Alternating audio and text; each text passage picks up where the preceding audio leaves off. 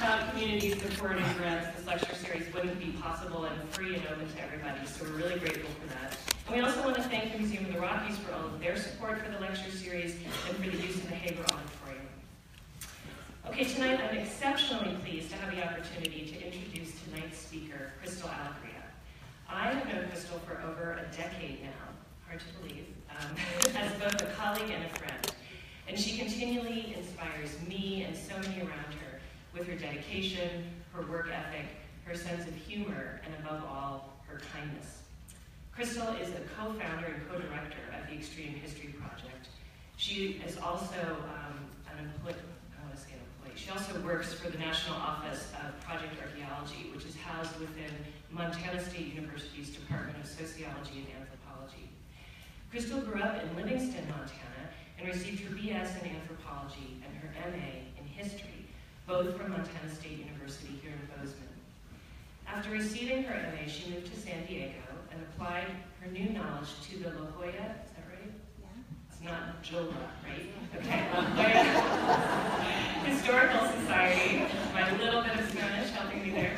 After that, she was hired as the Assistant Curator of Historical Services for the Wells Fargo History Museum, also in San Diego where she specialized in exhibit research, design, and development.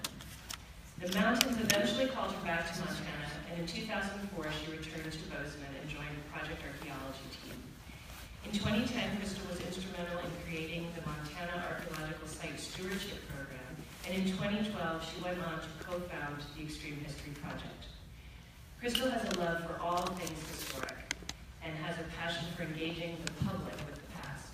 She's developed walking tours for the Extreme History Project, including the Family Matters Bozeman's Historic African American Community Walking Tour that debuted in 2015.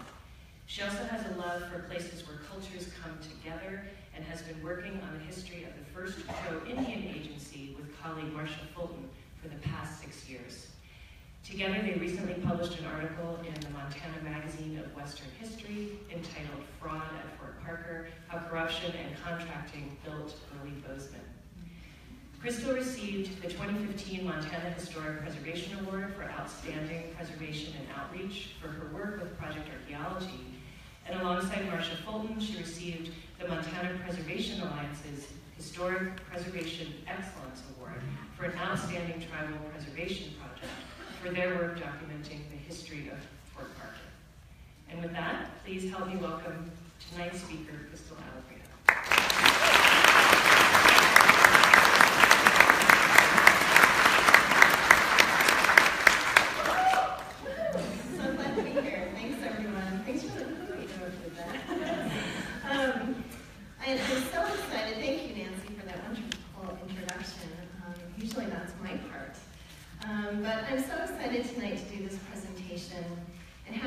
opportunity to tell you all about a very significant woman, Elizabeth, or Lizzie Williams. When doing historical research, sometimes you come across a person that just sticks with you, haunts you, but not in a bad way. Um, you just can't get them out of your head. And that's how Lizzie has been for me over the past few years as I've been researching her amazing life. I've been actively researching her life and her death and in doing so have learned a lot about historic Bozeman. So in talking about Lizzie and analyzing last will and testament tonight, I'm also going to give you an overview of Bozeman's historical landscape in the late 1860s, early 1870s, um, and more specifically the years um, 1868 to 1875. I'm also going to talk about why Lizzie's story is important now more than ever. I feel strongly that when studying the past,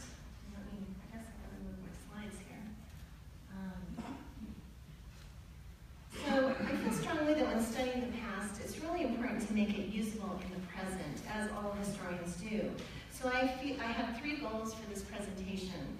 The first one is to validate, honor, and bear witness to the history of Bozeman's African American community. Second, shape a new narrative for Bozeman's historical storyline. And third, I want to encourage all of you to take that information and use it and act on it in your own lives. And I'll give you some suggestions on how to do that at the end of the presentation tonight. So since Lizzie is the topic of our presentation this evening, let me introduce you to her. I first met Lizzie when wandering through Bozeman's Sunset Hill Cemetery one wintry afternoon. I saw Lizzie's very decorative marble headstone that you see here, and the date on it, 1875, really drew me in. She lived in Bozeman in the early days when the streets were, were dirt, no pavement yet, and the buildings were all wood frame with just a few brick buildings on Main Street. I wondered who this lady might have been, what her life might have been like here in early Bozeman. And I immediately went home and started researching Lizzie, starting with census records, because that's always the place to start. So um, I found her quickly listed in Bozeman's 1870 census record. And to my surprise, I re realized that she was listed as M for mulatto, which meant she was probably of African American descent since she was born in Kentucky. She had no husband listed as living with her.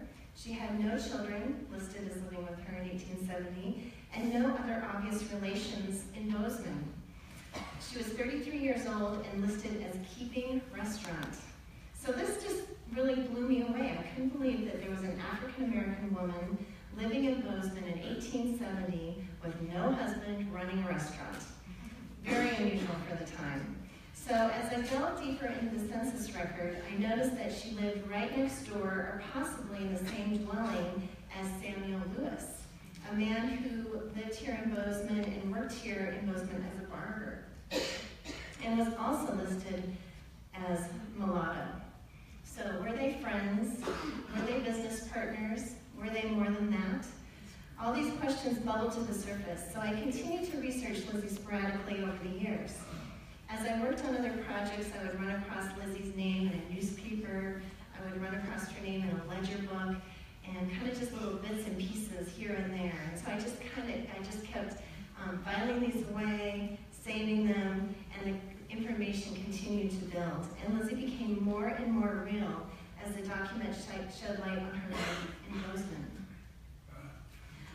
But before I continue with Lizzie's story, I just want to broaden our scope a little bit and give you some context for the time period we're talking about tonight, kind of that late 1860s, early 1870s time frame. This was a time of reconstruction in our country. The Civil War had just ended in 1865. The 13th Amendment passed in 1865 as well formally abolished slavery in the United States. The 15th Amendment, giving African American men the right to vote, was passed in March of 1870. Ulysses S. Grant was president here in the West. Montana was uh, just a territory at that time. Gold had been discovered here in 1862 in Bannack, in 1863 in Virginia City, and 1864 in Helena, bringing a large number of people into the area. By the 1870s, the gold rush was starting to become old business. Um, so people who were going to go left and those who were going to stay started to settle in, which was very problematic for the indigenous people who had been living here for thousands of years. Bozeman was established in 1864, so by 1870 it was growing and becoming a very well established, established town. Fort Parker, the first Crow-Indian agency, was established in 1869, just 30 miles east of here, 10 miles east of present-day present Livingston, but in those days, in 1870, 1869, um, Livingston didn't exist yet. In 1875, the Federal Indian Bureau issued a proclamation stating that any, Indian people found off their reservations as of January 31st, 1876, were considered hostile, setting the stage for the Battle of the Little Bighorn that happened in June of that year. So that kind of gives you an overview of where we're at historically, kind of sets you in place on what was happening throughout our nation at that time. So demographically, the population of Montana in 1870 was 20,595. So now, not, not very many people here in Montana then, now the population of Montana is over 1 million, still not a lot of people in Montana, really. Um, the total population of Bozeman in 1870 was around 396 to 425. So I put 396 up there, but Rachel Phillips and I, Rachel works at the Gallatin History Museum, and we've been going back and forth on this for a couple, a week or so, trying to figure out exactly how many people were here in 1870. And this number 396 to 425 is as close as we could come. um, and that number doesn't include the soldiers at Fort Ellis. So um, today our population is about 43,000, a little over 43,000. So in 1870, the percentage of African American people in Bozeman was 2.8%, and today it is 0.05%. So our racial diversity has dramatically decreased. In 1870, 11 of those people um, that were living here, 11 of those 396 to 425 people, were African American. Here's a list of the 11 um, people that were living here in Bozeman during that 1870 census. So four of these 11 people were women, and I've included Lizzie in this list of four. Um, two of the people on this list were just children, so the, the African American community was already starting to grow in 1870.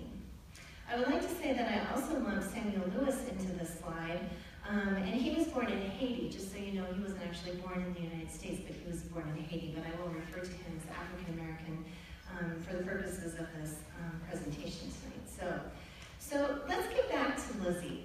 Uh, Lizzie was born, kind of give you a little bit more background information on Lizzie Williams. Lizzie was born in Louisville, Kentucky in 1834. So quite a long time ago. Think about Louisville, Kentucky in 1834.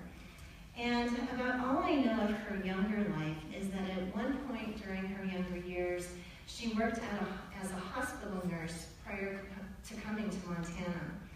So um, that's about all I know about her in her growing up years. I don't know also if she grew up in slavery or not. But being from Kentucky and being African American, there is a good chance that she was a slave.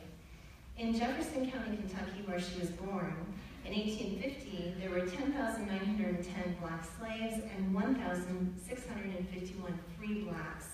So the odds are in favor of her growing up in slavery.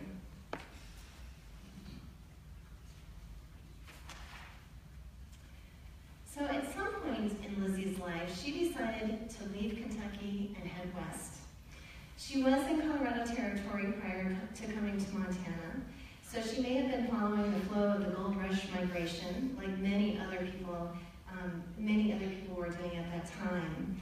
When I first started thinking about Lizzie's journey west, about her coming west, I thought of her as a pioneer, because that's kind of what just pops into your head when you think about people coming west. You think of that word pioneer.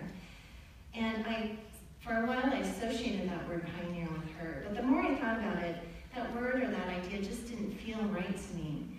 So I talked it over with a few folks, a few of my colleagues, um, Jill, who might be here in the audience tonight, and Nancy, and came up with the, the word, instead of pioneer, I'll give you the, the definition of pioneer here, just so you kind of have an idea of it.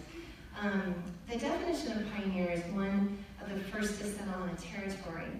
And like I said before, there are many, many indigenous people already living here. So pioneer is not the appropriate word, nor is pioneer usually ever the appropriate word for those who migrated west during the 1800s.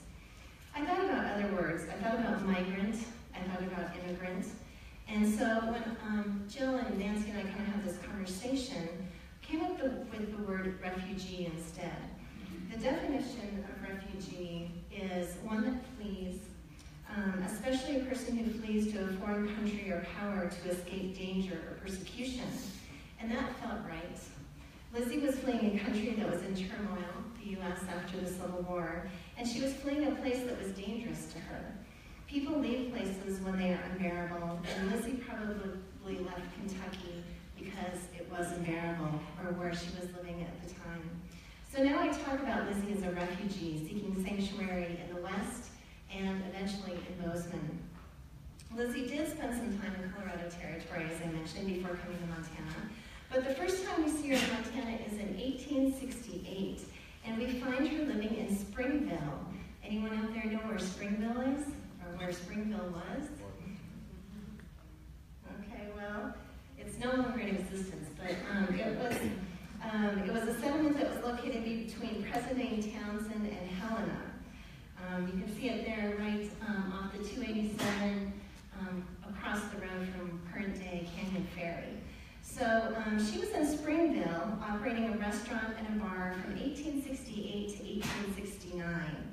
And um, here's a copy of her business license from when she was operating that bar and restaurant in Springville. But Springville no longer exists. Um, my husband Larry and I and the kids took a drive out there the other day and we drove all around and there's nothing there. There's nothing left there but a cemetery that we, we couldn't find.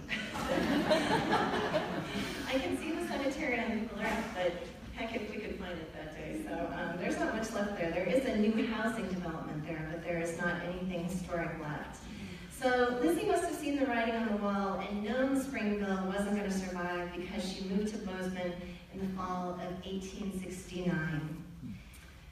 And shortly thereafter, not too long, she didn't waste much time, in January of 1870, she purchased a lot and building on Main Street for $2,200. Quite a large sum, quite a large sum of money.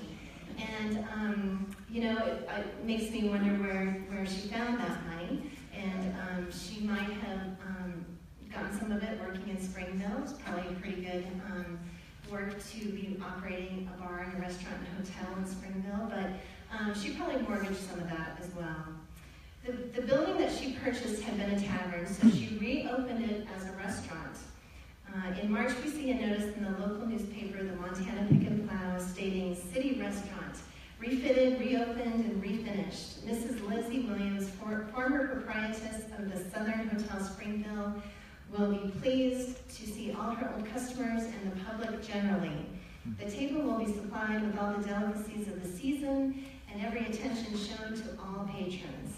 So Lizzie was set up in Bozeman, running a restaurant on Main Street. But she doesn't stop there. In 1872, the Avant Courier newspaper tells us that Lizzie built a wood frame building on her lot and rented the building out to Mr. Merkel, who operated a jewelry store out of the building. So um, Lizzie was moving and she was uh, running a restaurant, and she was renting out a, a, a store. So she was um, a real entrepreneur here in, in Bozeman. So let me just show you what Lizzie's Bozeman looked like. This is a photo from about 1872, and this is one of my favorite photographs of Bozeman. Um, this shows Main Street and the block between Bozeman Street and Black Street. Um, so um, Bozeman Street would have been kind of over here, and Black Street would have been kind of over here. So this is that this is that block right between um, Bozeman and Black. And there's one building, or part of the building, that is still with us um, today that is in this photo, and that is the Cooper Black Building. And this was the building that was built by Walter Cooper and Leander Black in 1872. So it's actually, can you guys see the pointer up there? Mm-hmm. Yeah. So it's actually this building right here um, is the Cooper Black Building. And, um, and you can see that in 1872, this building was just under construction and, uh, and it was still being built. But um, I also want you to know the, notice these, all these freight trains um, on Main Street in Bozeman. Every historic photograph that you look at of historic Bozeman has these, these, wagon, these wagons full of goods going somewhere or coming into Bozeman from somewhere else. So um, I always think those are interesting to see as well. Um, I just want to, I'll, I'll, kind of give you a, um, to kind of set you in a place so you kind of understand where we're talking about um, using a picture from today's Bozeman. Um, you'll see that this is the Cooper Black building right here. Uh, we only have part of this building left. In 1972, the building, um, the, um, the bays on the right-hand side of the building were torn down. Four of the bays were torn down to accommodate the um, national, the First National Bank when it expanded to the east. So you can kind of see um, the Cooper Black building, what's left of it here, and that houses downtown antiques, so that kind of places you where we are in, in Bozeman. The running company is right here. Um, I there's a quilting store in here, and then if anyone has kids, they definitely know where the chocolate mousse is. That's the chocolate mousse right there. Now, I wanted, want you to know that none of these buildings that are here today were here in 1872 when Lizzie was here. So this is all new construction right here.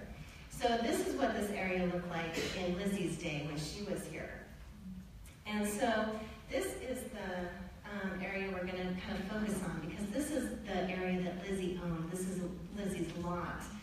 And um, she bought it for as one lot in 1870 when she purchased, purchased it, but then it kind of became two lots over time. Um, and so I'll, I'll give you another photo here that kind of really zooms in on this area so you can kind of see um, the area that we're talking about.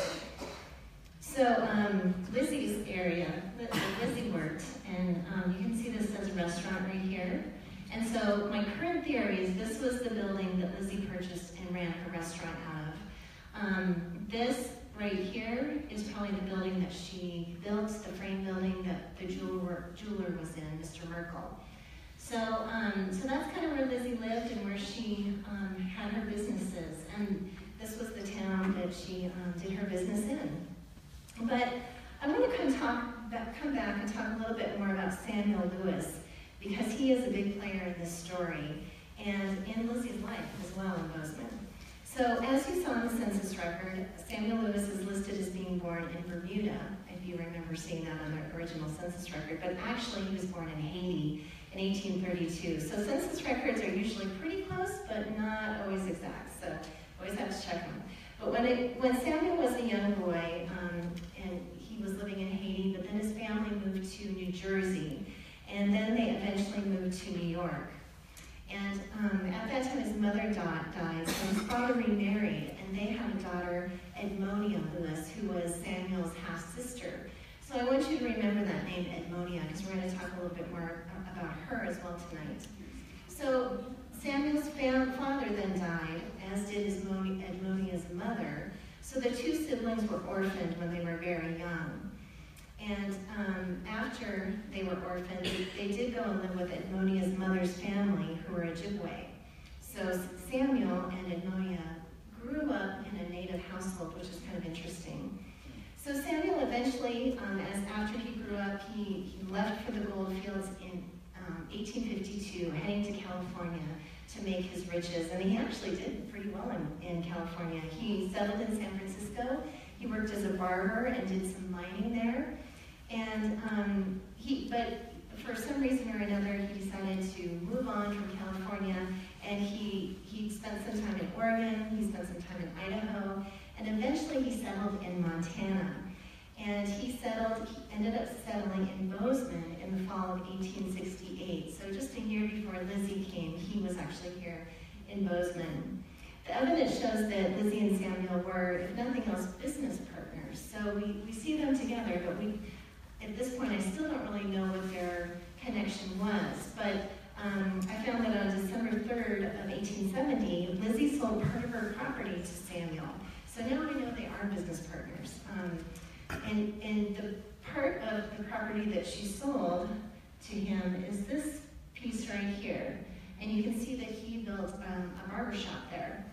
And the way that we can tell that it's a barber shop is because you can see the barber pole kind of sticking out right there.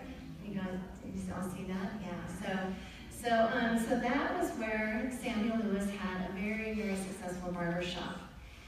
And so here's another view from the opposite um, side of the street.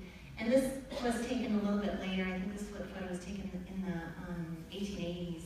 But notice the freight trains are still on Main Street. The wagon trains are still there. So still hauling goods out and hauling goods in.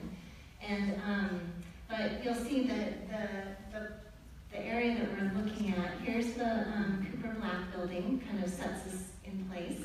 Here's what I think was probably Lizzie's um, restaurant. Here's Samuel Lewis's barber shop, and here is the building that Lizzie built to rent out to Mr. Merkel. And um, at this time, uh, Samuel had a much larger barber pole, so everyone in town knew where the barber shop was. so so, um, so this is this is where Lizzie was at, um, and we know that Lizzie was part of the community. And the reason that we know that she was a part of this Bozeman community is because we have some documents that give us that evidence.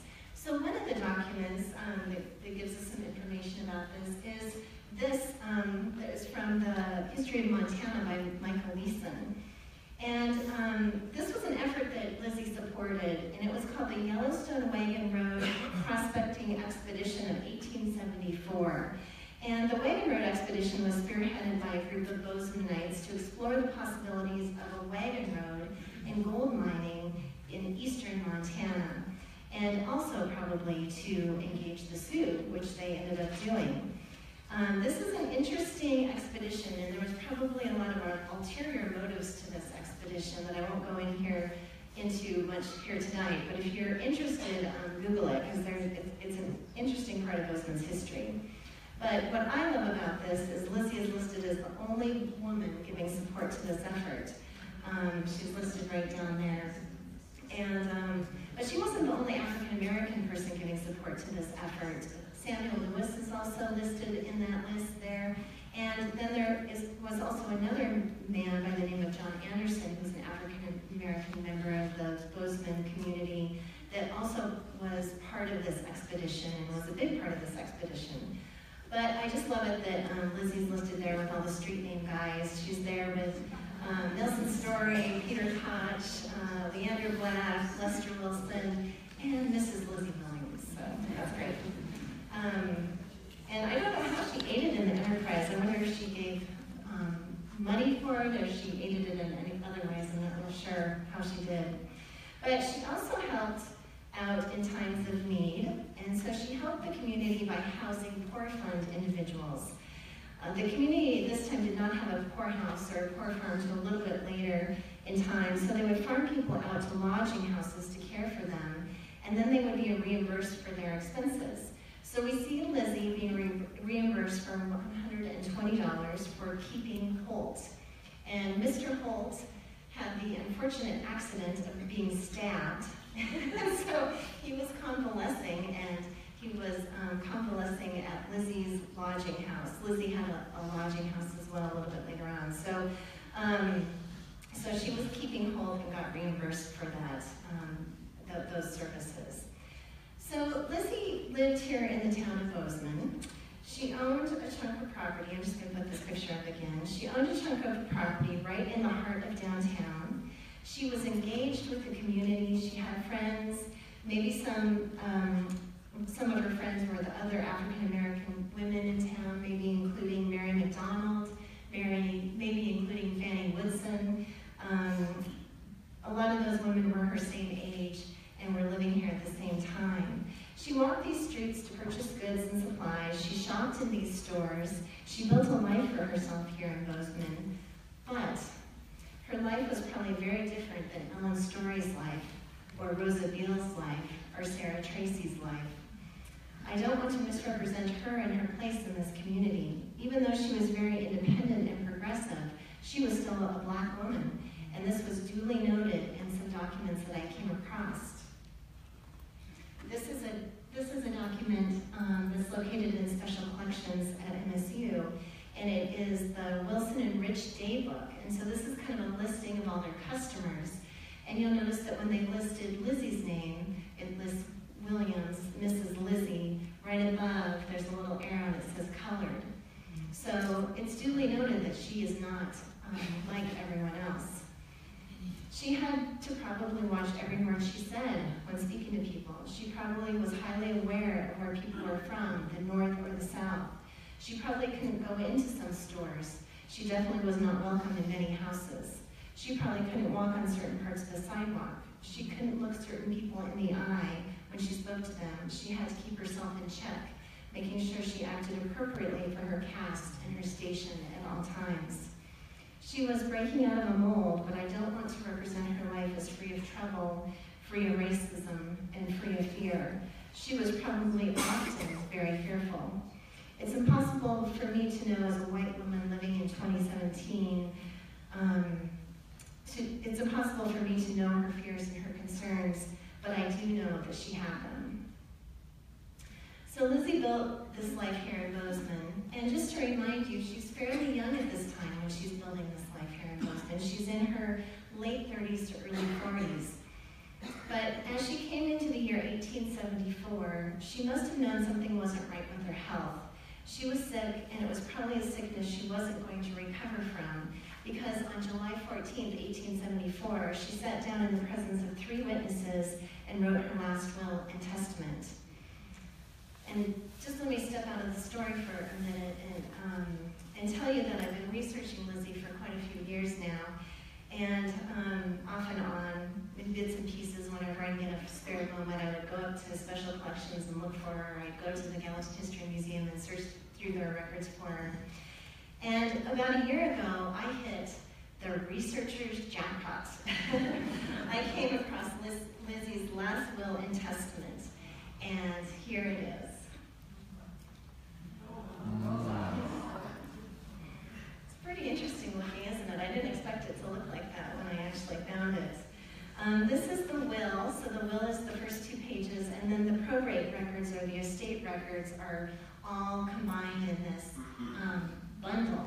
And so it is a bundle. It's a little bundle about this big that's that they box up and, and put away. So, um, and I think they keep it in a vertical file. So I um, went to the clerk of district court office, and that's where this is um, held, um, at the Law and Justice Center, and they were so nice because I um, probably sounded kind of loony going in asking for a will from 1874. Um, but they were great, and they found it for me. They had to do some digging, and they um, they went down into the storage room in the deep, dark depths of the, the Law and Justice Center, and they rummaged around for a while, and they were able to find it, and um, and called me back and said that they had found it. So I went in and I looked at it and opened it up, and it was dusty and dirty, and it looked like a few pages dropped in the mud, and all sorts of things. But it was amazing to actually um, see it and to hold it. So. Um, just a little side note about um, about the, the powerful aspect of a document, being able to hold it in your hand. Um, and, and this will is also very powerful because it was a will of a woman, an African American woman living in Bozeman in the 1870s. Um, and it's powerful that she had enough funds and enough property to warrant a will. So um, let's get let's dive into this will. And I want to just um, read you the first page. Um, I'll just read through it, and the text is written on the right so that you can read it, but the document is actually on the left. I, Elizabeth Williams, of the town of Bozeman City in the county of Gallatin, the territory of Montana, do hereby make and publish this, my last will and testament. First, it is my will that after my decease my body shall be decently and properly buried.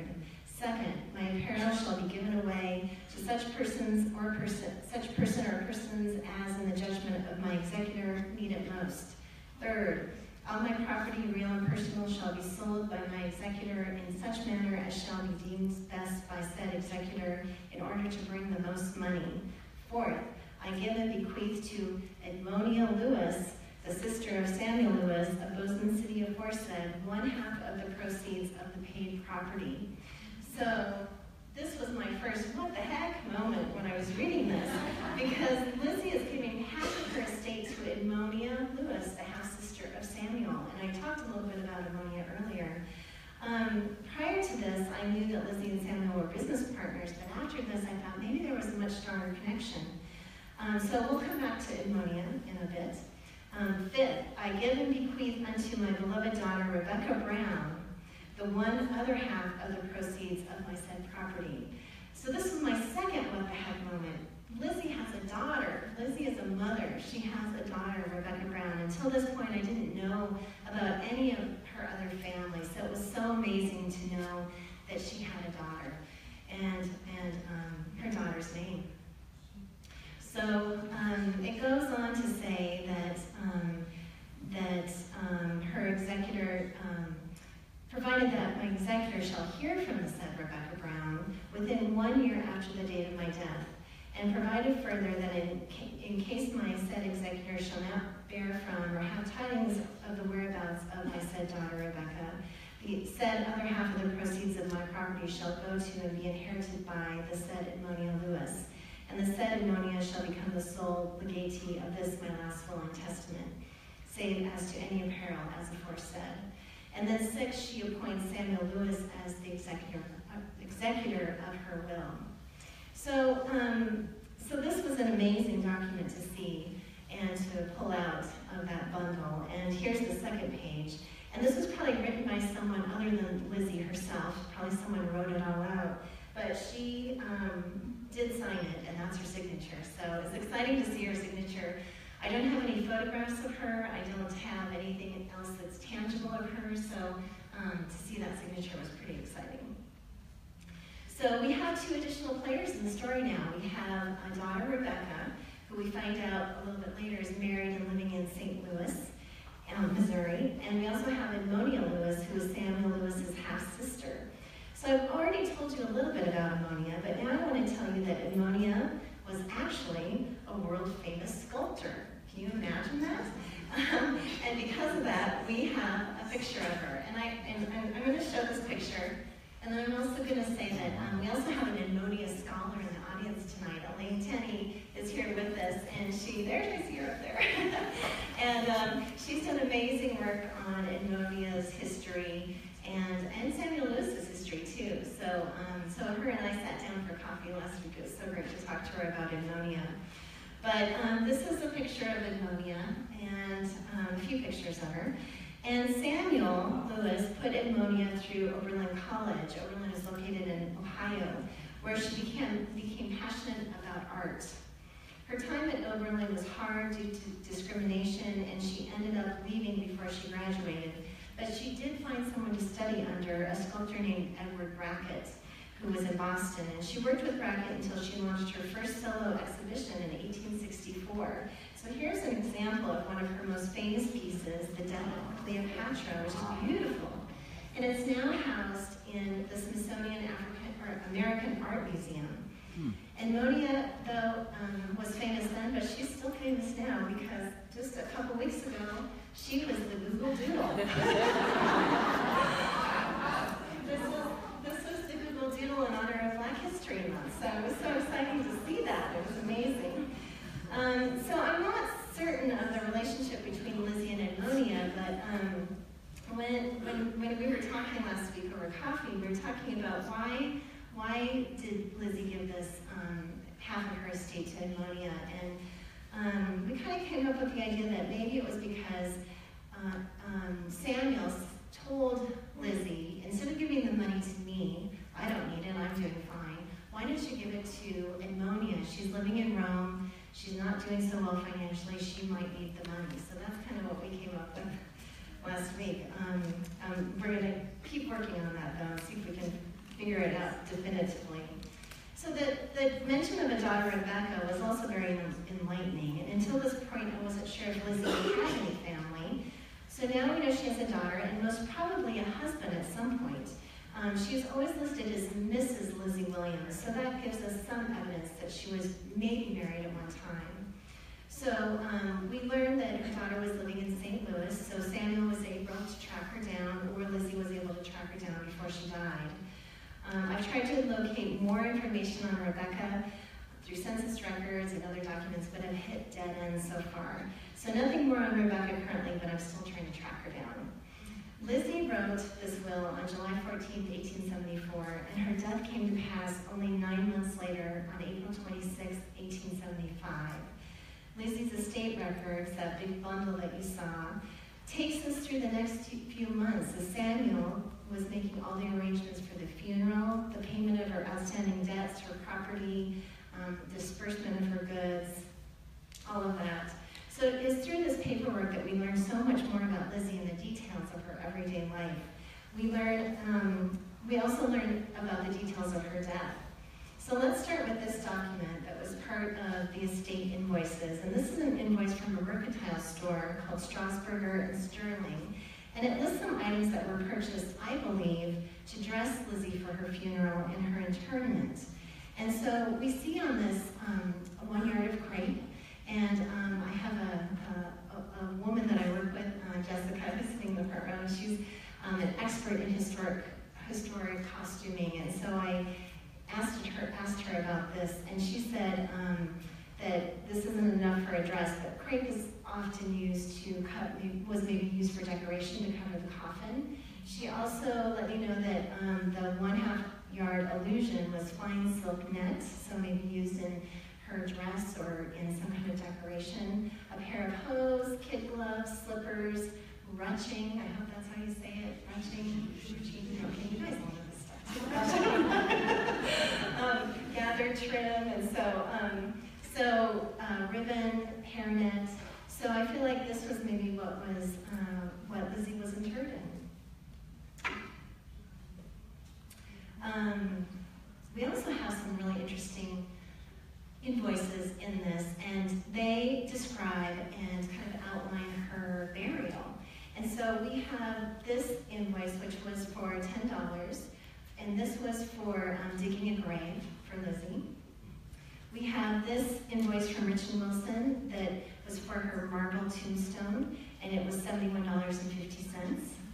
We have this one for um, the services at, at the funeral. Um, Lizzie attended the Methodist Episcopal Church, and so this was for the, um, Mr. Miles to do the services for $3. We have a $20 bill for um, the carriage at the funeral, and also in keeping a horse, because Lizzie owned a horse, and so I think that's the horse he was keeping. So $20 from Wakefield, George Wakefield, who's another famous Bozeman guy. Um, also, $42 for the painting and creation or, or building of a fence that was around Lizzie's grave. And so this fence no longer exists, but whenever I go out to Lizzie's um, grave site today, I always think of it um, enclosed by a little white picket fence. Um, $35 for the basers for setting the monument or the headstone. We have $61.25 for the making and trimming of the coffin. So we have um, so we have all these bills that added up to $252.72. So funerals were expensive then, and funerals are expensive now, but um, it was an expensive funeral for Lizzie, but she had the money to cover all those expenses.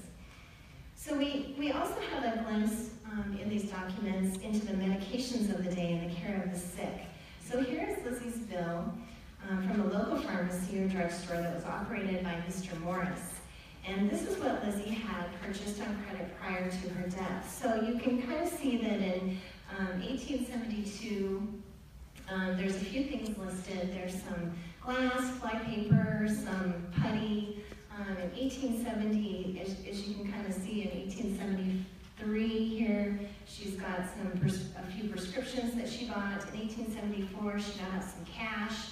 Uh, Mr. Morris must have been the, the local ATM.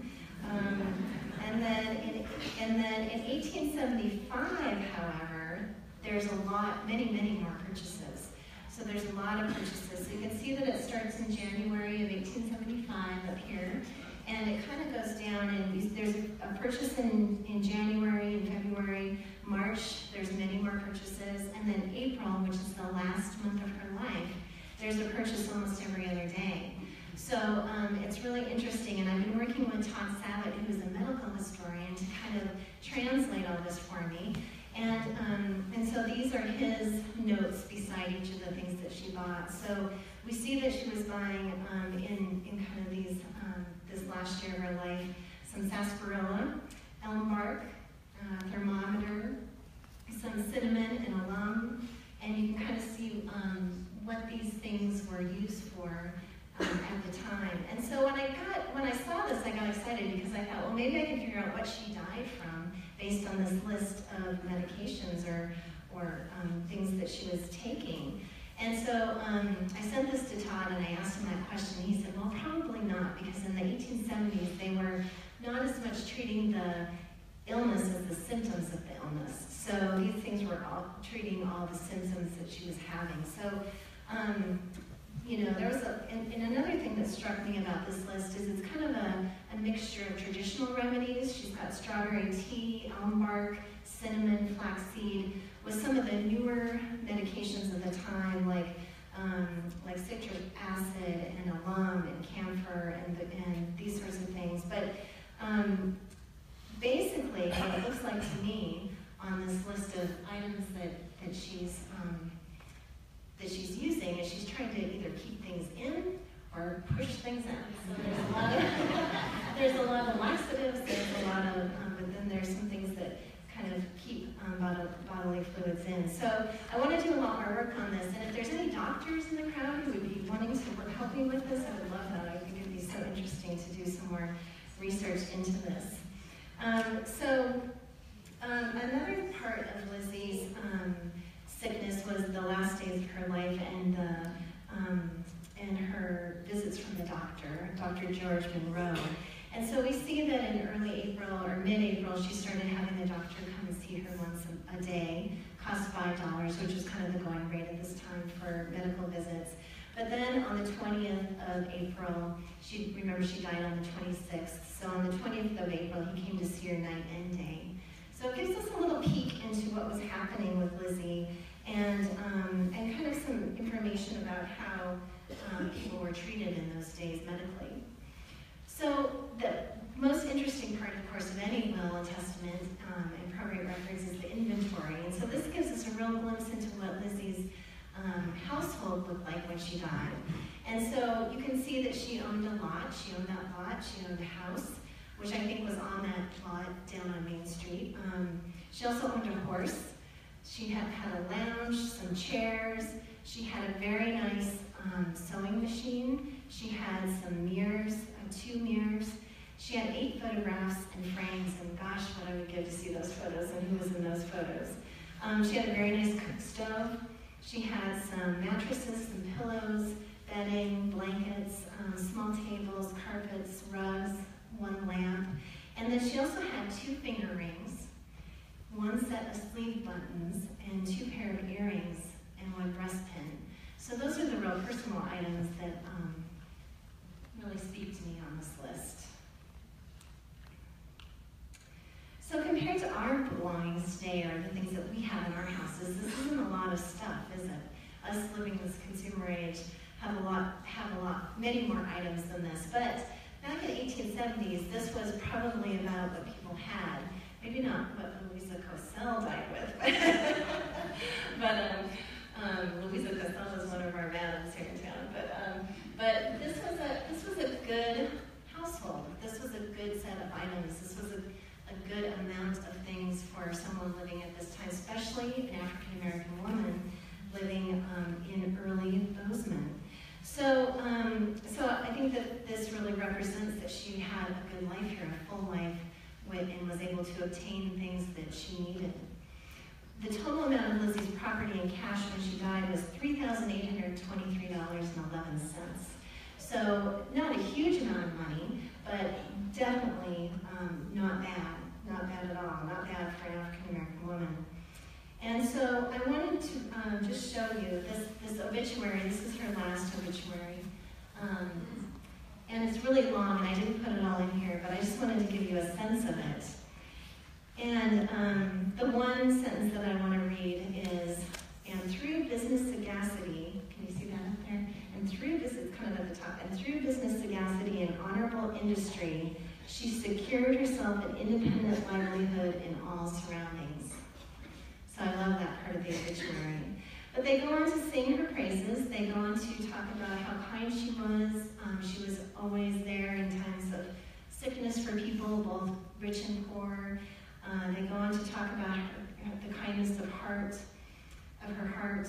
And then they end by saying she was fully reconciled to the change, being conscious almost to the last, and assuring her friends with her last audible breath that she knew she was the heir of immortality. She leaves a daughter to mourn her loss, expected soon to arrive from St. Louis, Missouri. Peace to her ashes. Funeral from the residence of the deceased tomorrow, the 28th at 2 p.m. Friends are cordially invited. So I think that um, when kind of thinking back to thinking back to Lizzie's life and the respect that was shown in this obituary, I think there was respect shown, but I don't think we should go overboard with this and think that she was on equal footing with everyone here at Bozeman at that time. I think, um, you know, I read this and I think, oh, this community just loved her, you know, and I think they did, but I think that she was still in her place. And the reason I say that is because in Samuel Lewis's obituary, I'll read a part of his obituary. It says, it would be hard, it would be hard to find in any community a colored man enjoying the same position according to Mr. Lewis at Bozeman. His color was never taken into consideration, except in social matters. Even there, the old citizens have invariably done him the honor of inviting him to their homes. But But possessed of a realizing sense of the uniqueness of this, he never attended. Hmm. So that does, it really gives us a sense of how things really were here in Bozeman. And, um, and so just to kind of finish up now, and kind of wrap up our story, and um, I just wanted to tell you kind of what happened to to Samuel Lewis. So after Lizzie died in 1875, Samuel went on to live in Bozeman until the end of his life in 1896. So that obituary was from 1896. Um, he is he is buried in the same general location as Lizzie. Their headstones are about 30 feet apart. Um, but Samuel did go on to marry another woman by the name of Melissa Bruce in 1883, and they had one child together. Um, here's a picture of, of the house that Samuel built for himself in 1881. It's beautiful, and it is so well taken care of and, and kept by Elaine Tenney and her family. It's um, on 308 South Bozeman, and um, this is probably your photograph. I got it off the, the internet, but it's probably your photograph. But, um, and, and it was placed on the National Register in 1999, which is wonderful. And, and um, we're so, I'm so glad that we have the research that's already been done on Edmonia and Samuel Lewis. Um, and their legacies have been preserved here in Bozeman because, because of this house and um, because of the work done. So, um, Bozeman's African American community was never as large as the African American communities in Helena, Butte, and Great Falls, but it was an important part of Bozeman, no matter how big or small. The African American community continued to grow right along with the city, and by 1910 there were 37 African American people living in Bozeman, which then had a population of about 5,000 people. But by 1930, the black population was on the decline in Bozeman and through that, throughout the state generally. The factors for this are complex, but they included an increase in competition for jobs and the rise of the Ku Klux Klan in Montana in the 1910s. Um, an anti-miscegenation law was passed in Montana in 1908, 1909, um, passing a law that said that African American people could not marry white people. Um, and so all these factors, and, and, when laws are passed, that really represents the ideology or the ideas of a place. So um, we can see that happening. And all these factors combined push out the African American community out of Montana to larger cities that offered better factory jobs and safety. So um, just to conclude, you know, why did I want to do this presentation on Lizzie and why has Lizzie, Lizzie been stuck in my brain for a while? And um, I think the reason, and I know the reason I wanted to do this presentation tonight is to shine light on the history of Bozeman's African American community and give validation and recognition to this community's history. We need to reshape Bozeman's historical narrative to include this part of the story. It's so critical.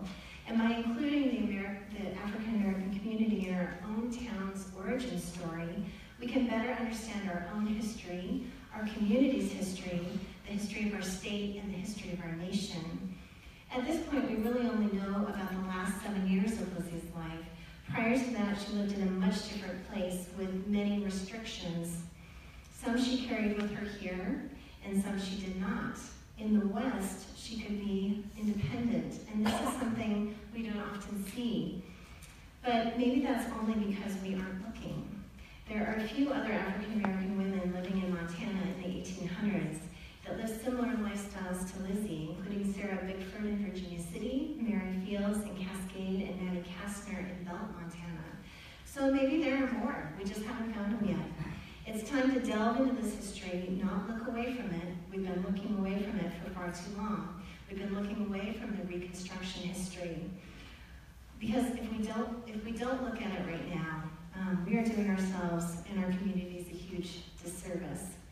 So, um, how can we use and understand Lizzie's story? And how are you all in the audience tonight going to use this information presented as a start, I encourage all of you to have a conversation with a friend or a family member when you're walking by um, the running company downtown. Say, hey, did you know this woman used to own a property that was here? Her name was Lizzie Williams. Um, but maybe bring it to the present then and talk about the importance of diverse, diversity and racial equity here in our own community. I also ask you to encourage more diversity in our community in any way that you can. On the way in, you were handed a half sheet page, and it has some ways to um, continue to learn about this if you're interested at all. Um, there's the website for the Montana Racial Equity Project, and Judith is here tonight, um, so you can talk to her. She's right up here at the, at the top, and so you can talk to her more about how to get involved with the Montana Racial Equity Project. There's also a wonderful website that the state of Montana has just put up on their um, State Historic Preservation Office um, website, and it's all about African American community in Montana. So you can look at that and learn a little bit more. We also have some books listed on that sheet.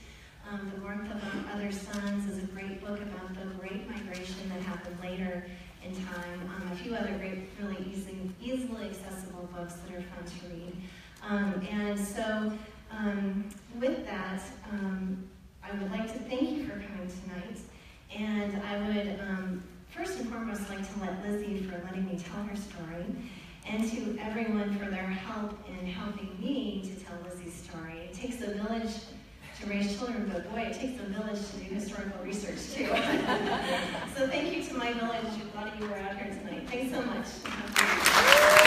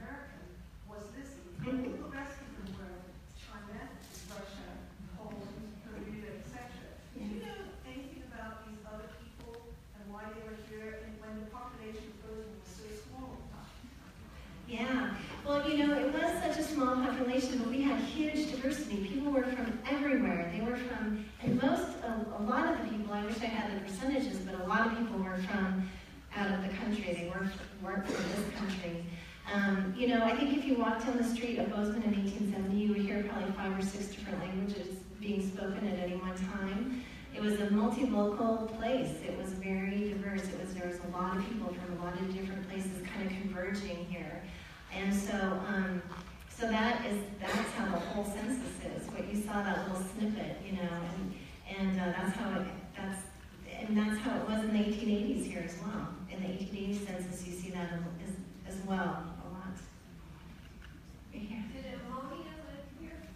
You know, um, we no no evidence to support that she ever lived here or she ever visited here. Um, maybe that evidence will surface someday, but right now, no evidence that she visited.